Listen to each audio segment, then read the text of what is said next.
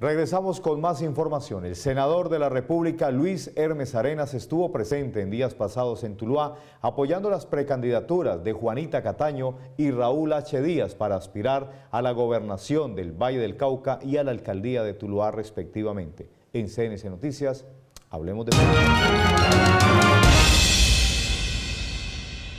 A mí me parece que lo que nosotros tenemos que acompañar para el Valle y para Tuluá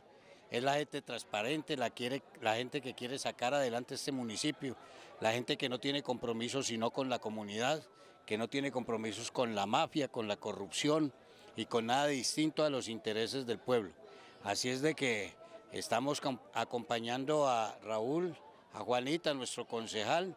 eh, Pirri, y a todos ellos buscando una salida para el municipio. Pensamos que lo que pudimos hacer en el Valle del Cauca y en Colombia desde el Congreso de la República se puede revivir con personas que de alguna manera tengan todo el interés y el entusiasmo por trabajar por los vallecaucanos,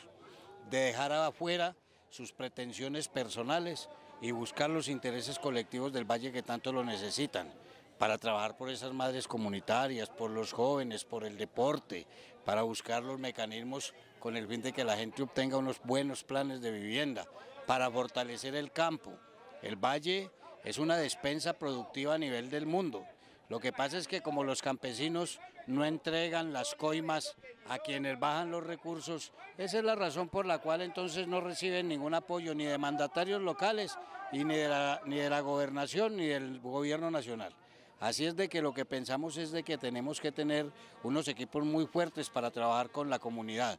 no con trapisondas ni componendas de ninguna naturaleza pudiendo mirar la gente a los ojos, pudiéndola mirar de cara a quienes quieren servirle al Valle, a quienes quieren servirle a Tuluá, y por eso los estamos acompañando, dándole la instrucción, aprovechando toda la experiencia que adquirimos durante 12 años en el Congreso de la República para que puedan administrar bien, para que puedan asesorar bien y para que puedan cumplir con ese propósito. Bueno, nosotros en este momento estamos buscando, la, la principal articulación es tener gente transparente al frente. Yo creo que en la medida que uno pueda